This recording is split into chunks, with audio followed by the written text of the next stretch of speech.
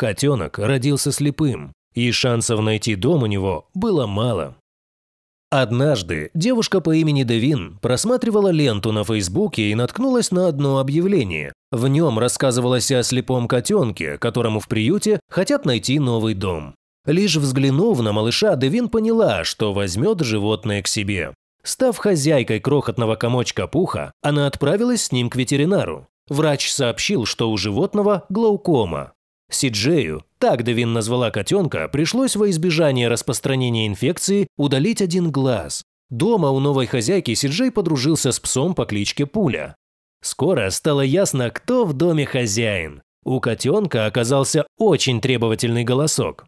Отсутствие зрения не сказалось на шустрости Сиджея. Он также ловко играется с Девин и пулей, бегает по лестнице. Без зрения животное научилось отлично ловить движущиеся объекты, лазать по деревьям. Сиджей с легкостью находит все свои игрушки. Как говорит его хозяйка, котенок – настоящий искатель приключений и исследователь. Сейчас он уже вырос в красивого и грациозного кота. Сиджей в селе также продолжает радовать Девин своими проделками.